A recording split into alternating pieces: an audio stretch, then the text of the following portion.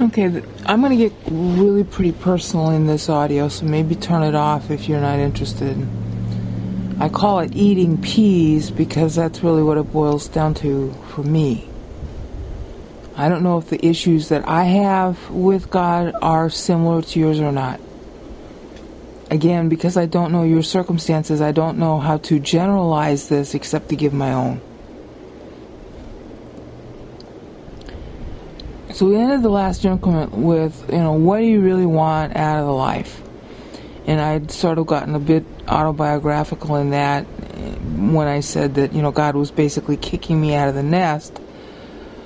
Um, he doesn't want me to want the future that He has planned for me simply because of Him,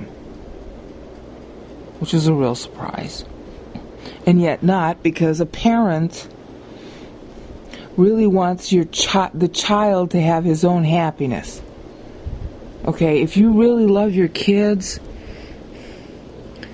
you want them to grow up independent of you, and obviously you have certain values you want them to share, and you want to have a close relationship with them, but you want to cut the umbilical cord.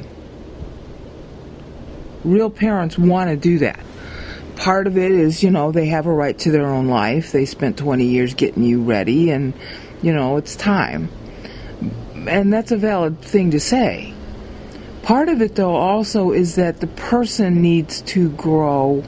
The child needs to, to be his own person, have his own wants, whether they're the same or not as the parents. Well, you know, God is the ultimate parent. And my big hickey in the spiritual life, as I've been saying on a number of occasions, because I, you know, I have to represent a large group of people in my own problems, so they have to be somewhat representative. Um, has been this whole idea of being in charge, being a parent. Okay, I that that whole idea just flummoxes me. Okay, I'm I'm the kind of personality who would be really great on a desert island or trapped behind, you know, you know, stuck in Antarctica watching instruments. A, a loner. I've always been a loner.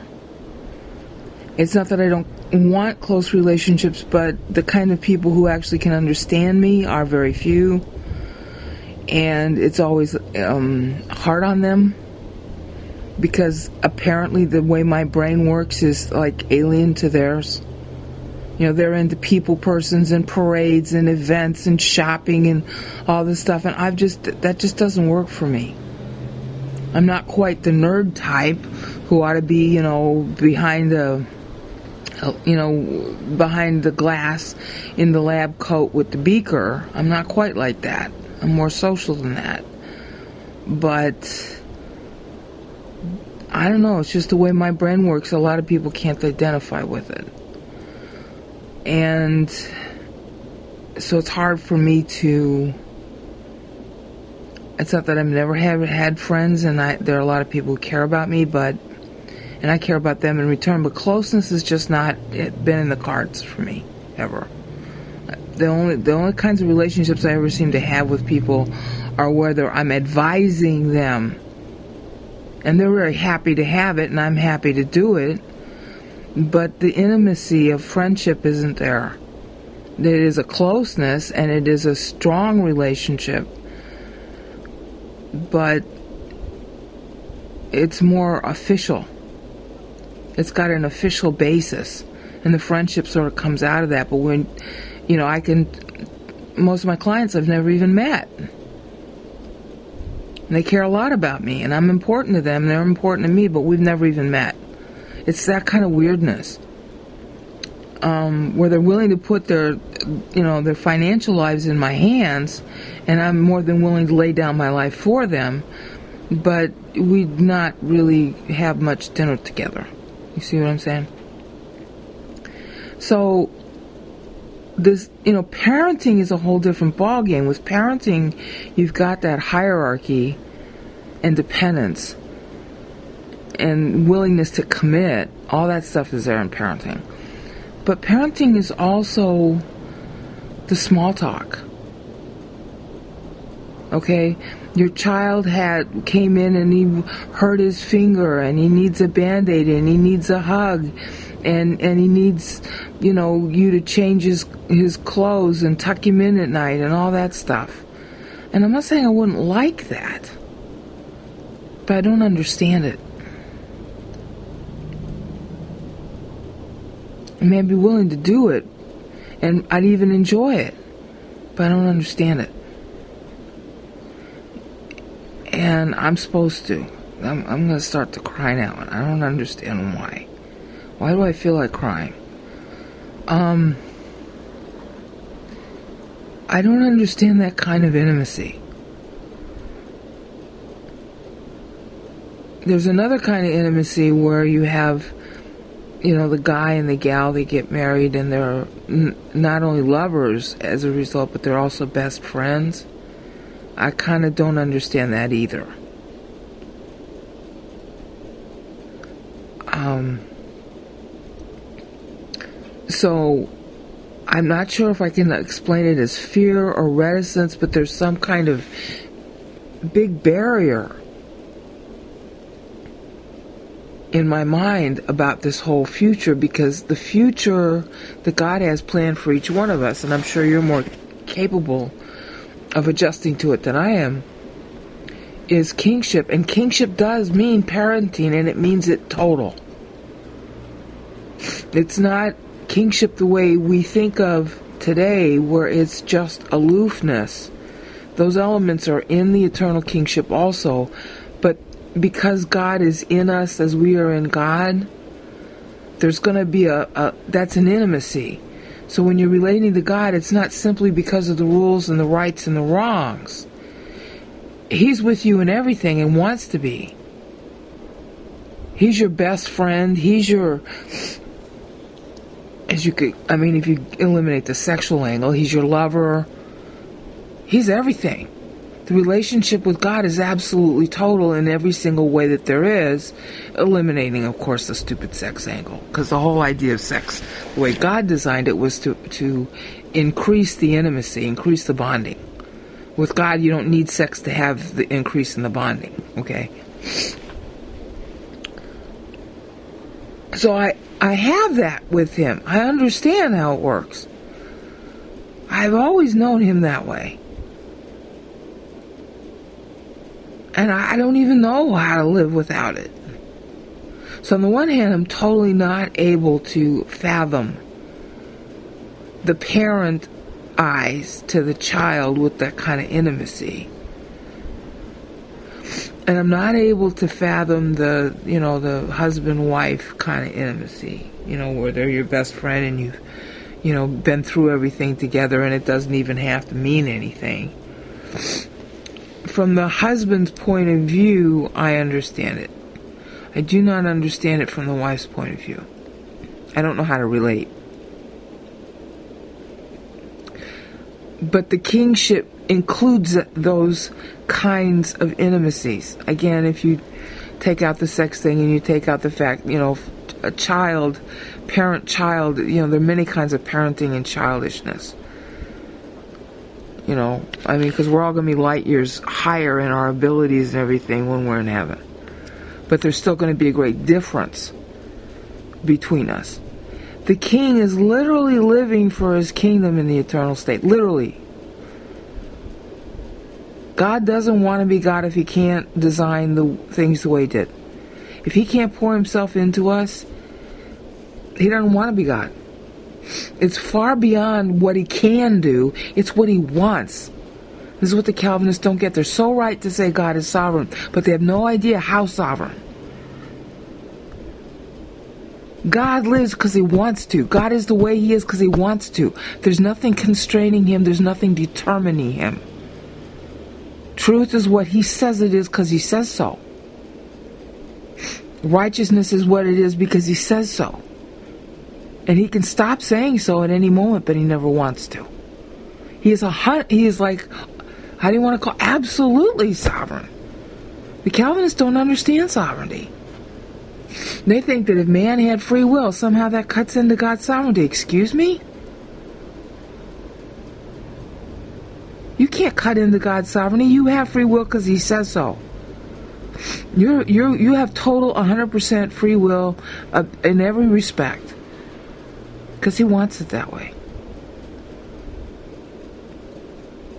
Calvin never got it. That Calvin was retarded. He never understood God. He never actually got to know God. And this is your proof of it. Free will doesn't affect God. It doesn't alter or change or impact anything he is and does. In fact, he ensures it. And he's already baptized every single thing, bad, good, or indifferent, and all the what ifs, because he decided what they were to start with. So, uh, you know, are you forced to make the decisions you do? No. He already kitted it out. It's like going into a store and you don't know what your friends are going to want for supper. So you buy everything in the store, and the store is stocked with every kind of food that can exist. And then your friends choose what it is they want to eat. You did not limit your friends' free will, did you?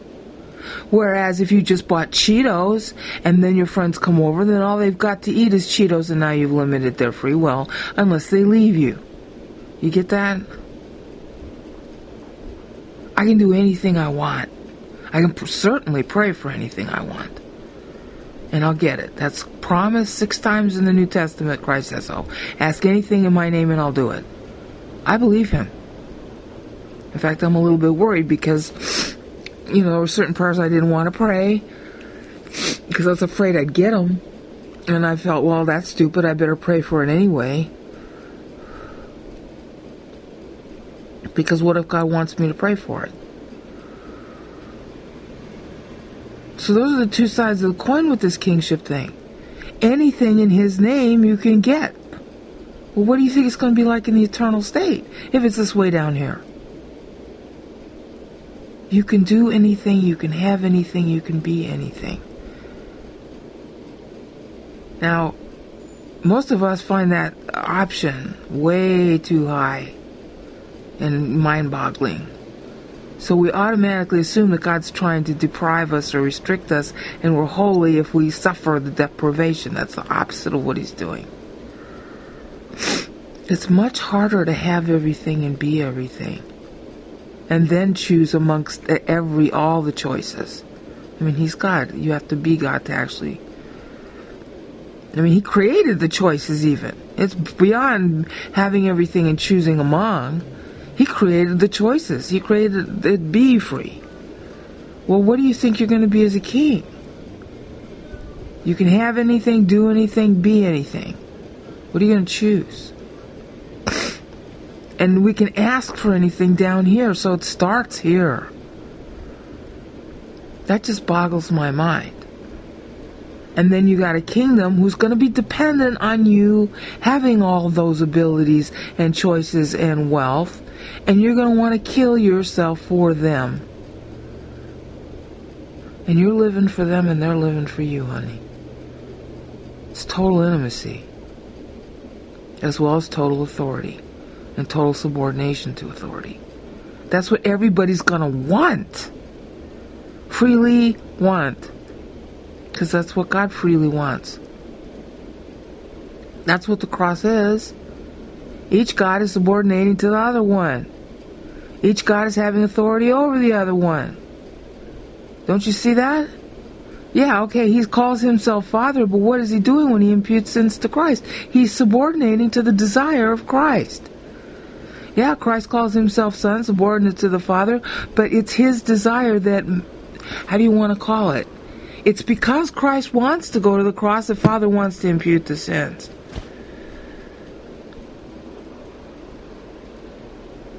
So the the person who's really equal choosing to be lesser, second, you know, Philippians 2, is actually the reason why the one who's higher goes lower. Because Father's going low too. When he imputes sins to his own son, that's not something he would natively want to do. But he wants to do it because the son wants it. And the Son wants it because of what it's going to do for Father. Because it gives the Son more things he can create for Father. Even as, as Son of God, he created the universe. Genesis 1 1 is talking about Christ being the creator there. We find that out from Isaiah 45 7 and 18 and 19. And what is the Spirit doing? Well, it's his authority too, because if he doesn't choose to hold Christ together so that Christ can receive the sins, then guess what? The whole plan tanks. So, Father subordinating the Spirit, trusting him to actually do this, and Spirit's obviously subordinating to the desire of Christ and Father. But in a sense, he's holding all the keys. You can argue that Spirit's holding all the keys, and they're subordinating to him. And Spirit likes to call himself Mom, Hebrew Rachaf in Genesis 1 2. The Spirit of God hovered over the waters. It's some translations say brooded, and that's even better because it means like a mother hen brooding over her chicks. So he's calling himself Mom. Okay, so doesn't that remind you of a family hello? The father's really deferring to the mother. The son is really deferring to the mother. The mother's really deferring to the father and the son and yet each one is in authority over the others because the others are doing deferring out of their own free will. I, I'm just, I just stare at that information open mouthed every day. That's how they think. That's what they want. That's why this design is what it is. It's a three way gifting. And we're smack dab in the middle of that inner relationship among the three of them. And, and not really sure why Satan rejected this. Surely he knew long before man was created. It would have been obvious in some manner, even with the angels. If a dumb brain out can know it, then they knew about it before I even existed. I'm not sure where Satan went wrong with that. I'm having trouble with it because I think it's the intensity and the closeness and the reality of it being so true. Maybe you like that. I mean, I like it too in context. And I look at everything else in life now, and honey, it just doesn't compare. You give me all the money on the planet, that would bore me. You give me all the whatever people think is important on this planet, and I don't want it. I'm not interested. I just soon go crawl into a hole, live on a desert island, do nothing. And if I'm to grow in the spiritual life, I have to accept the intensity of this inner intimacy. Because I'm supposed to become a king. And this is what kingship means. It's the same mental attitude. 24 7, and you live for it. And I, I can't say I'm scared. I'm not sure what it is that bothers me about it. It's not exactly fear. I can't say I don't like it, but I, I want to avoid it. And I don't know why. Honestly, don't. I don't know why I want to run away from this. So you see, a person can be empowered, as it were, to know Scripture inside out and really understand it, and really know God even, and be articulate and all this other stuff that He's given me to be able to do in the videos and the web pages and all that stuff for years. But you know what? That doesn't mean there are no problems. It doesn't mean I'm like this saint, even though technically that's my title and yours. This is my big sticking point in the relationship, and I honestly don't know if I'll make it. So if I don't, I hope you do. And if you wondered where it was all going to lead to, honey, this is it. Maybe the issue for you is different. For me, it's the it's the total intimacy of it, and it'll never die. And I'm crying now, so I'm just going to quit. Peace out.